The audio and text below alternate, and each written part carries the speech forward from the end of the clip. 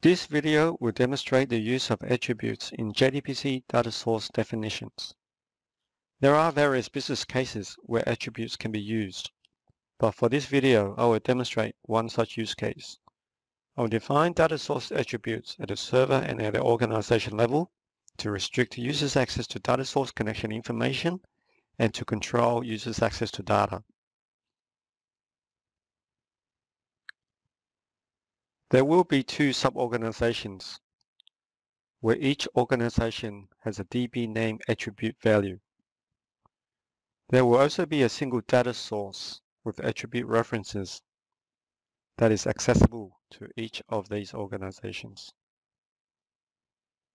To help you understand the content of this video, I strongly recommend to review the following materials. In the Server Administration Guide, sections 2.4 and 4.1, and the community article, which explains about the attributes in data source. We begin by logging to the Jasper Report server as superuser and navigate to Manage Server Settings and Server Attributes page. On this page, we define the server attributes. We click on Add a new attribute and we set the host, username, password, port, and the attribute values. We also set the permissions to execute only. This is so that lower level users and administrators not be able to see these attributes and their values. We are restricting these users from viewing such information. The super user can also create an attribute data source and place it under the public data sources folder. This will allow the sub-organizations to access this data, data source.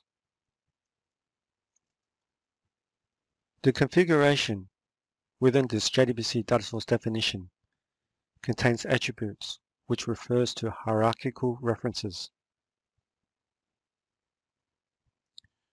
There is a difference between a hierarchical reference and a categorical reference for attributes.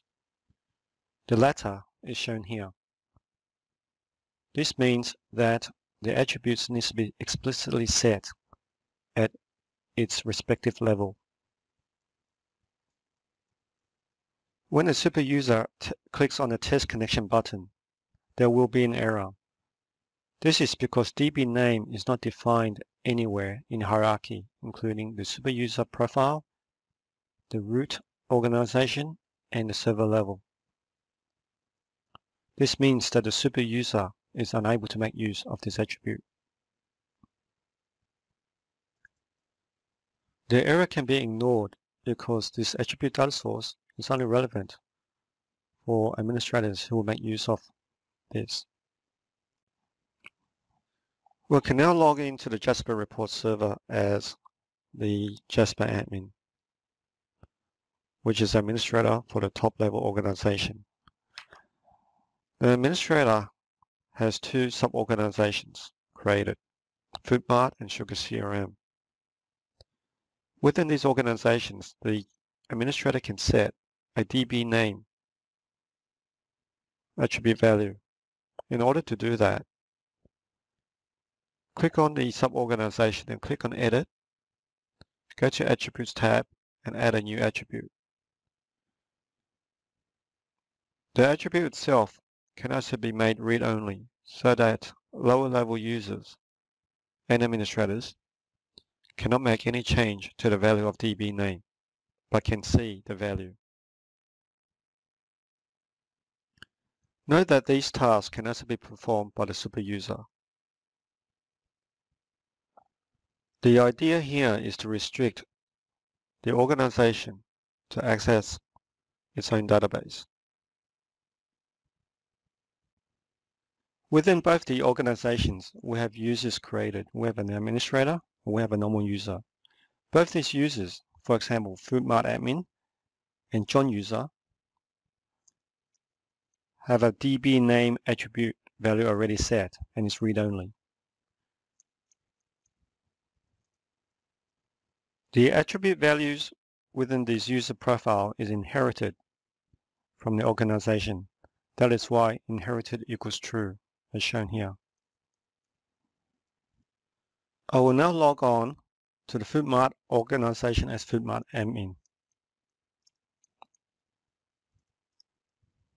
The FoodMart administrator can now create domains based off the attribute data source, which is, which is residing under public data sources folder. It is important to click on the test connection button to ensure the data source works.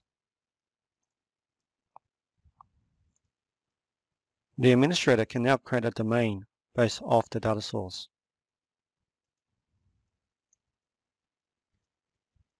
Since the data source has a hierarchical reference to the DB name attribute value of FoodMart, it will reference the user profile DB name FoodMart. If DB name attribute is not listed here, then it will reference the DB name at the organization level. And if it's not listed there, then it will reference the DB name at the server level. And if there is no DB name at the server level, then an error will be thrown.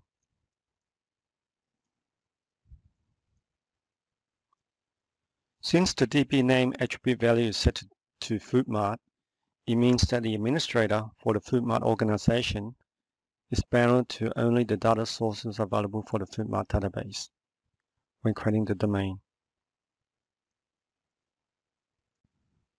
The same concept applies to the Sugar CRM organization, where the administrator there can use the attribute data source to create a domain.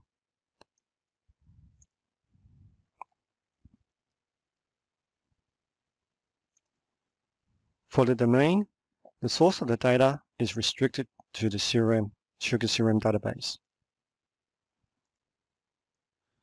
All users now within the organization can create reports and ad hoc views based off the domain that was created by the administrator.